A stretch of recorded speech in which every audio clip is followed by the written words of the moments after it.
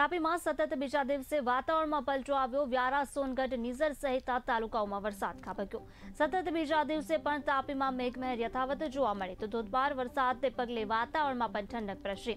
અશય ગરમીથી લોકોને મોટી રાહત મળી છે તાપીમાં સતત બીજા દિવસથી વરસાદ વરસી રહ્યો હોય વાતાવરણમાં પલટો જોવા મળી રહ્યો છે વ્યારા સોનગઢ નિજર સહિત તાલુકાઓમાં વરસાદ તો સતત બીજા દિવસથી તાપીમાં મેઘમેહેર યથાવત જોવા મળી ધોધમાર વરસાદે પગલે વાતાવરણમાં પંચનડ પ્રસરી ગઈ ગરમીથી લોકોને મોટી રાહત મળી રહી